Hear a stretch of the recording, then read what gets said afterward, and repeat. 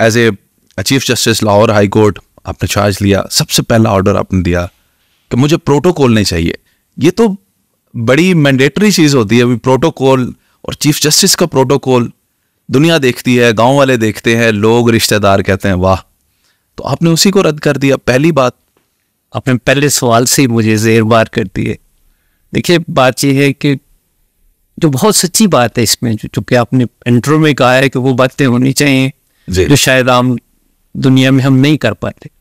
तो आपके साथ दिल से बात कर रहा हूँ कि यहाँ से जियो आर से गवर्नर हाउस का थोड़ा सा फासला है।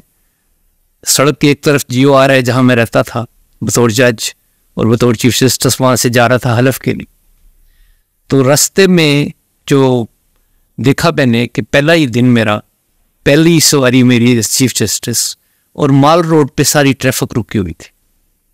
और उस वक्त मेरी बेटी मेरे साथ बैठी मेरी बीवी मेरे साथ बैठी तो बड़ा बुरा लगा मुझे और ख़ास तौर पे मेरी बेटी को कि उसने मुझे ख़ास तौर पे कहा कि इनमें से कितनी बच्चियाँ और बच्चे होंगे कि जो जा रहे होंगे एग्ज़ाम देने के लिए। वही सुबह का टाइम था आठ बजे। तो ये सारे लोगों ने पता नहीं कब से रुका हुआ तो बहरहाल ये एक चीज़ ऐसी थी कि जिसने मुझे बहुत हौसला दिया कि मेरा जो ख़ानदान है, मेरी जो फैमिली है, जो मेरी इमीडिएट लव्ड वंस है वो मुझे ये तरगीब नहीं दे रहे कि प्रोटोकॉल थोड़ा है।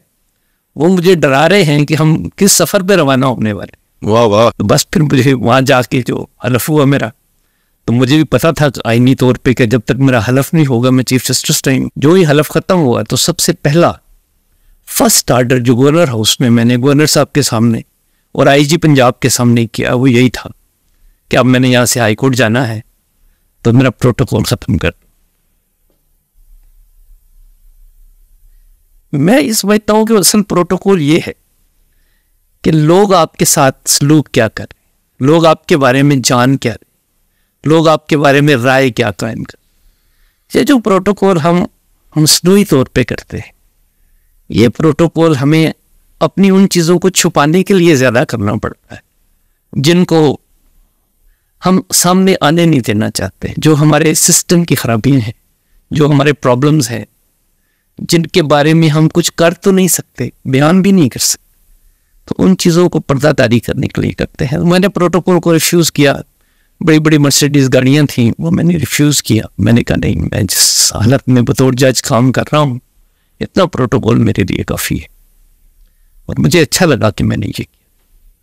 मुझे बहुत अच्छा इस बात पर भी लगा कि लोगों ने इसको बहुत पॉजिटिवली और मुझे ज़्यादा काम करने का मौका। अगर आपको प्रोटोकॉल के जंगले में बंद कर दिया जाए तो आप जितने थोड़े दिनों के लिए मैं चीफ जस्टिस बना था, शायद मैं कोई काम भी ना कर। मैं उसी में कैद होकर